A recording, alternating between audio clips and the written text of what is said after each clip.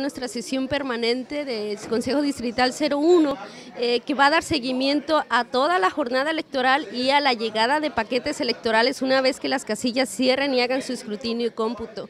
La finalidad de esta sesión permanente es, como ya lo dije, darle seguimiento si surgiese alguna, algún incidente, alguna emergencia, se formaría alguna una comisión con consejeros, con representantes de partidos, alguna casilla. De cualquier manera, para eso tenemos el SIGE. El SIGE es el Sistema de Información de la Jornada Electoral. ¿Cómo funciona esto? Los consejos distritales estamos en sesión permanente, damos información de lo que sucede en las casillas a través del SIGE. El SIGE nos lo va a alimentar cada capacitador asistente electoral que tiene a su cargo eh, de una a cinco casillas en este distrito. ¿Cuántas son las casillas que se instalan en este distrito electoral federal?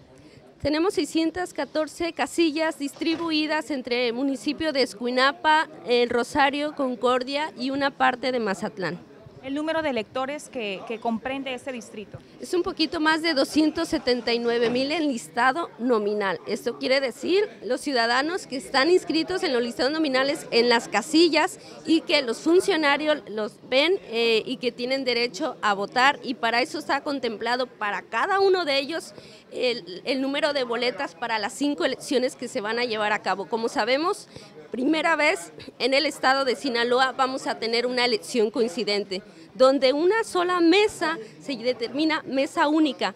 El, sinaloense va a pasar y le van a dar cinco boletas. De esas cinco boletas, tres son de elección federal, presidente de la República, senadores y diputados federales, y dos son de elección local, diputados locales y los ayuntamientos.